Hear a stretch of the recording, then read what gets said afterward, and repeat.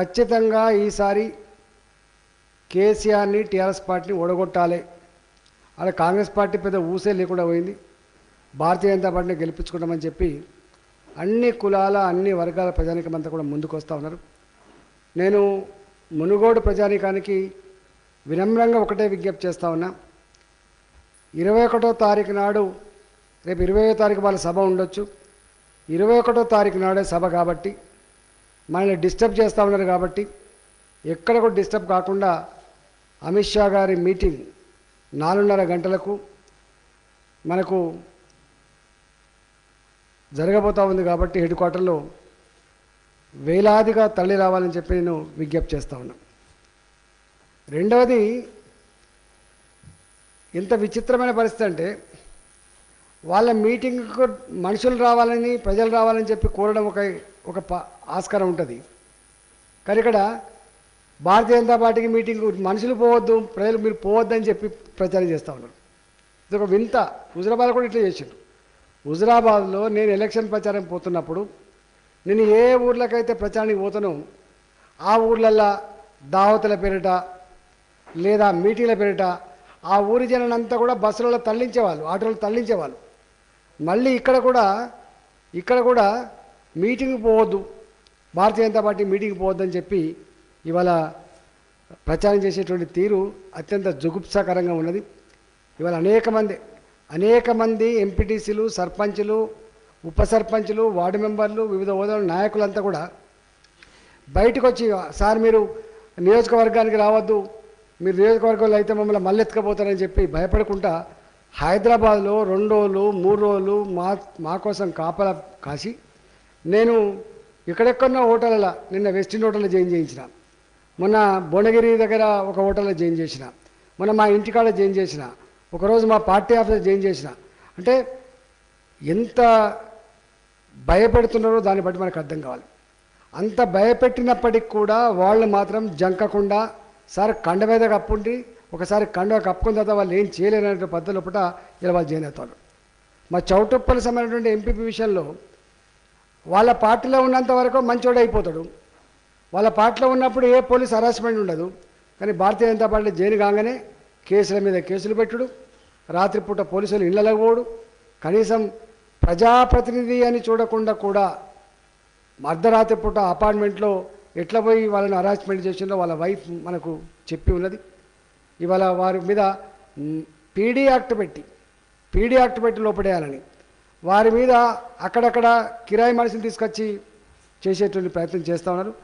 ఏది ఏమైనప్పటికీ కూడా చట్టం మీద కోట్ల మీద సంపూర్ణమైన విశ్వాసం ఉంది కాబట్టి తప్పకుండా ఇవన్నీ నుంచి బయటపడతామనే విశ్వాసం ఉన్నది. అదేవిధంగా ఇతర ప్రాంతాల్లో కూడా అమిత్ షా గారు వస్తున్న సందర్భంగా అనేక మంది నాయకులు అనేక మంది పెద్ద పెద్ద నాయకులు ఇవాళ మాతో కన్సల్ట్ చేసే ప్రయత్నం చేస్తున్నప్పుడు చక్కగా ఇంటికి పోతాను మేము కన్సల్ట్ చేసామని తెలిస్తే చాలు. మేము ఇంటికి పోయినామని తెలిస్తే చాలు. మా ఫోన్లలో వాళ్ళు ట్యాప్ చేస్తారు కాబట్టి మాకు మాట్లాడుతున్నారంటే చాలు. టక్కన పోతాను ఏదో మేనేజ్ చేస్తాను ఏదో ఇచ్చుకొని మళ్ళీ చేస్తాను కానీ ఒక్కటి మాత్రం సత్యం మీరు ఎల్లకాలం మే మేనేజ్ చేయలేరు. ఎల్లకాలం ప్రలోభ పెట్టలేరు. కట్టలు తెంచుకొని కట్టలు తెంచుకొని ఇలా బయటకు వచ్చేటువంటి ఆస్కారం ఉంది. నేను మళ్ళీ చెప్తా ఉన్నా వేల సంఖ్యలో సర్పంచులు ఉన్నారు. వేల సంఖ్యలో ఎంపీటీసీలు ఉన్నారు. వందల సంఖ్యలో ఎంపీపీలు ఉన్నారు. జడ్పీటీసీలు ఉన్నారు. జిల్లా పరిషత్ చైర్మన్లు కూడా ఉన్నారని చెప్తున్నాను నేను. జిల్లా పరిషత్ చైర్మన్లు కూడా ఉన్నారు. అంతేకాదు బై ఎలక్షన్స్గా రాకపోతే బై ఎలక్షన్స్ రాకపోతే ఎంపీలు ఉన్నారు ఎమ్మెల్యేలు కూడా ఉన్నారు. వాళ్ళకు అర్థమైతలేదు వాళ్ళ ఎన్ని వాళ్ళకి కనబడదు కాబట్టి వాళ్ళకి అర్థమైతలేదు అందువల్ల నేను ఒకటే ఇలా టీఆర్ఎస్ పార్టీ పార్టీ నాయక్ నాయకులకు కానీ కేసీఆర్ కానీ చెరపకు రా అనే పద్ధతిలో పూట మీరు చెరిపే ప్రయత్నం చేయకండి. చెడిపోకండి అని మాత్రం నేను విజ్ఞప్తి చేస్తాను నీ పని నువ్వు చేసుకో నీ సభ నువ్వు పెట్టుకో నీ నాయకులను కలుసుకో నీ నాయకులు పోకుండా కాపాడుకో. కానీ ఇతర పార్టీల నాయకుల మీద ఇట్లాంటి పిచ్చి పని చేసి వేధింపులకు గురి చేస్తే మాత్రం మంచిది కాదు. ఇంతకుముందే ఒక దగ్గర చూసిన పాత కరీంనగర్ జిల్లా ఇవాళ సిరిసిల్ల జిల్లాలో భారతీయ జనతా పార్టీ కార్యకర్తలు ఏదో ఇష్యూ మీద పోతే ఎట్లా కొడుతుండో దాన్ని తెలుసు తెలుస్తూ ఉంది ఇవ్వాలని అంటే టిఆర్ఎస్ పార్టీ నాయకులు టిఆర్ఎస్ పార్టీ కార్యకర్తలు మొత్తం పోలీస్ స్టేషన్ చెలామణి అవుతున్నట్టుగా కనబడతా ఉంది. నేను పోలీస్ డీజీపీ గారికి ఇతర అధికారులకు చాలాసార్లు మేము చెప్పినాం. అసలు మీరు చట్టాన్ని లోబడి పనిచేస్తుందా కేసీఆర్కు బానిసల్లాగా పనిచేస్తున్నా అని చెప్పి చాలాసార్లు మేము చెప్పినాం. మార్చుకుంటారని చెప్పి ఆశించినాం. నాకు తెలిసి కొంతమంది ఆఫీసర్లు మరి మరి ఇదే గవర్నమెంట్లో నౌకరీ చేసి ఈ గవర్నమెంట్ పోగిన వాళ్ళు నౌకరీ పెట్టిపోతారో తెలియదు కానీ ఇవాళ మళ్ళీ గవర్నమెంట్లో పనిచేయడం సోయి కనుక ఉంటే నువ్వు చేసే ఇవాళ పిచ్చి పనులు నువ్వు అవలంబిస్తున్న బానిస పద్ధతి దాని మీద తప్పకుండా మళ్ళీ చట్టం పనిష్మెంట్ ఇస్తున్న విషయం మరి మర్చిపోకు. ఇవాళ ఇల్లంతా కుంటలో మా కార్యకర్తలను గల్లబట్టి గుంజుకపోయి లోపలేసి ఎత్తేసి కానీ ఈయర్ మేర కొడతా ఉన్నాడు ఆయన. ఒక పోలీస్ ఆఫీసర్ ఒక కార్యకర్త మీద ఈయర్ మేర కొడతా ఉన్నాడు.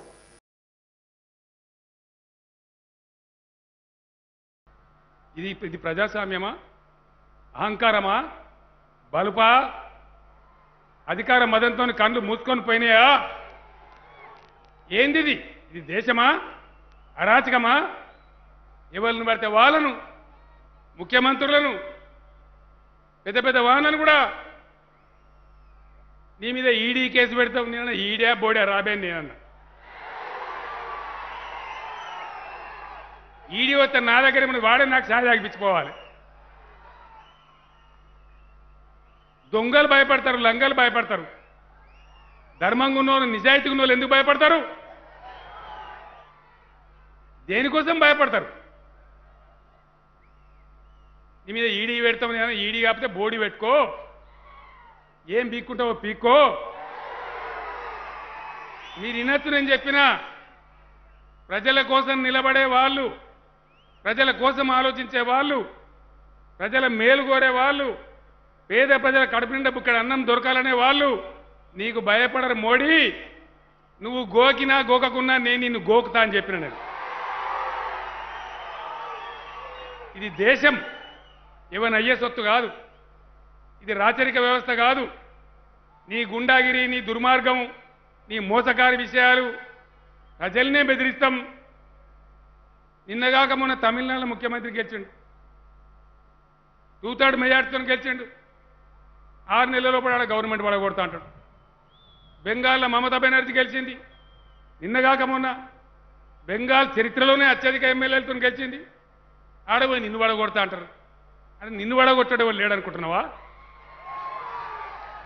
నిన్ను వడగొట్టడానికి నీకు వేరే శత్రువు అవసరం లేదు నరేంద్ర మోడీ. నీ అహంకారం నీ గర్వమే నీ శత్రువు అవుతుంది ప్రజాస్వామ్యాన్ని అపహాస్యం చేసే ప్రజా వ్యతిరేక విధానాలే నీకు శత్రువు అవుతాయి నీ రైతు వ్యతిరేక విధానం. ఎందుకు పెట్టమంటున్నావు మీటర్? ఏం కారణం? మేము నిన్ను అడుగుతలేమే. నిన్ను బతిలాన్న మా మీద పైసలు ఇవ్వమని. ఉన్నంతలో మా రైతులు ఎందుకు? ఇదే నల్లగొండ జిల్లా రైతు బిడ్డలు పాలమూరు రైతు బిడ్డలు ఇంకా అనేక జిల్లాల వాళ్ళు. పది ఎకరాలు ఇరవై ఎకరాల రైతు ఉన్నోళ్ళు కూడా హైదరాబాద్లో వచ్చి ఆటో రిక్షాలు నడిపింది ఏడిసినాం మేము కళ్ళతో ఆ రోజు. బాధపడ్డాం. మా ప్రాజెక్టులు కాలే మాకు నీళ్ళు రాలే కడుపు నిండా కరెంటు రాదు. చెట్టుకోడు గుట్టకోడు అయిపోయింది రైతాంగం అంతా. ఇలా ఏ ప్రయత్నమైనా చేసి మళ్ళా గ్రామాలు పచ్చబడాలి రైతులు బాగుపడాలి. గ్రామం చల్లగుంటే రైతు దగ్గర నాలుగు పైసలుంటే రైతు ధాన్యం మండిస్తే బ్రహ్మాండంగా మనం మంచిగుంటుంది తెలంగాణ అని తిప్పల పడుతున్నాం. రైతు బంధు పెట్టుకున్నాం నీళ్ళు ఇచ్చుకుంటున్నాం మిషన్ కాకతీయతో చెరువులు బాగా చేసుకున్నాం చెక్ డ్యాములు కట్టుకుంటున్నాం. ఇవాళ కొద్దిగా కొద్దిగా ఇప్పుడు ఇప్పుడే జర జర తెల్లబడుతున్నాం తెలంగాణ జర జర తెలివి వస్తుంది కళ్ళు మండుతున్నాయా? నీకు దమ్ముంటే నువ్వు ఉన్నకాడ చేయి అక్కడ చేసుడు చేత కాదు. నేను మొన్న అడిగిన ఢిల్లీలో లేదు కరెంటు హైదరాబాద్లో ఉంటుంది మేము ఇంత పొడవు చేసినాం అంత పొడవు చేసినాం. దేశ రాజధానిలోనే మంచినీళ్ళు దిక్కులేవు. దేశ రాజధానిలోనే కరెంట్ చక్కగా రాదు. ఇది వీళ్ళ పరిపాలన. ఎవరైనా ఉదరించినరా ఉద్ధరియలే నీళ్ళు రావు కరెంట్ రాదు సాగునీళ్ళు రావు. ఒక్క ప్రాజెక్ట్ అన్న కట్టినరా దేశంలో? కట్టలే. మాకు శా చెయ్యే శాత కాదు. నువ్వు చేస్తే నిన్ను చేయనీయం అనే పద్ధతిలో మాట్లాడుతూ ఉన్నావు నిన్న మంత్రి గారు జగదీష్ రెడ్డి మాట్లాడి ఆయన శాఖ కాబట్టి. కరెంటు ఒకటే ఒక్క రాష్ట్రం ఇండియాలో. మొత్తం భారతదేశంలో ఇరవై నాలుగు గంటలు మోటార్ కాలకుండా ట్రాన్స్ఫారం కాలకుండా మంచి నాణ్యమైన కరెంటు ఇచ్చే ఒకటే ఒక రాష్ట్రం తెలంగాణ. ఏ ఏ రాష్ట్రంలో కూడా లేదు. నీ బీజేపీ పరిపాలించకాడ లేదు. ప్రధానమంత్రి సొంత రాష్ట్రం గుజరాత్లో కూడా దిక్కులేదు. ఇవాళ ఇది కూడా బంద్ చేస్తారట కరెంటు కూడా. మీటర్ పెట్టాలి వచ్చే కరెంట్ రాకుండా బంద్ చేయాలి అబద్ధాలు చెప్పాలి అబద్ధాలు మాట్లాడాలి. దేశ ప్రజానీకానికి రైతాంగానికి నిష్కృతి రావాలంటే ఈ డూప్లికేట్ అవసరం లేని ఉప ఎన్నికలు తెచ్చే గోల్మాల్ గాల నుంచి మనల్ని మనం కాపాడుకోవాలంటే మన బాయి కాడ మన బోర్ కాడ బీజేపీ మీటర్ పెట్టుడు కాదు. అందరం ఒక్కటై బీజేపీకే మీటర్ పెట్టాలి. మన పీడ పోతుందని మనం చేస్తా ఉన్నాం. పెడదామా బీజేపీకి మీటరు? పక్క మాటేనా? మీరు ఒక్కొక్కరు ఒక్కొక్క కేసీఆర్ కావాలి. కొంతమంది మన దాంట్లో కూడా సన్నాసులు ఉంటారు. ఇంత ఆయన మందు పెట్టి దూది పెట్టగానే దాని ఎమ్మడి పోతా ఉంటారు. దానికి ఆశ పడద్దు. దయచేసి ప్రలోభాలకు పోవద్దు. ఇది నేను ఒక్కటే మాట చెప్తున్న పార్టీల ఎన్నిక కాదు. రైతుల యొక్క బతుకుదేరు ఎన్నిక. రైతు పొలాలలో పనిచేసేటువంటి కార్మికుల బతుకుదేరు ఎన్నిక. తెలంగాణ యొక్క జీవితము